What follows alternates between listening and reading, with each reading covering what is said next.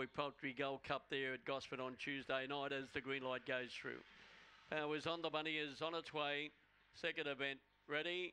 Racing, Eager Ninja jump good, nice their way towards the inside. Juice to run to the leader. They were followed getting around the outside. Doonside Danny, Happy Tokama, Frank Cannon, Weekend West, a good way back to go while Cedar and just out at the tar, but Juice going along beautifully, coming to the turn. They won't pick this up.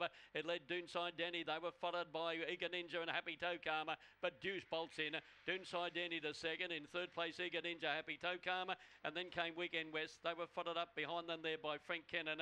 The next one in there was Gold Sid. Uh, go well said, and last of all, just out. Up went the lids, away went number two Deuce, and uh, for Jill Harper, and it's bolted in. Number two, the winner Deuce, by Norris Canuli, and by C. M. and W. Berringen, trained by Jill Harper. Jill and uh, Warren there at YE, defeating number eight, Doonside Denny. Lockenbar Marlow out of uniform, Peter Rogers. And third to number one, Eager Ninja.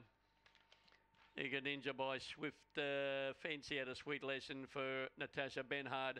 Eight and a half by three, 22.73. Fourth to number five, Happy Tokam. 10.97 the first split, 11.76 home, so it's run to the line strongly. And the numbers two, eight, one, and five, winning margin eight and a half lengths by three.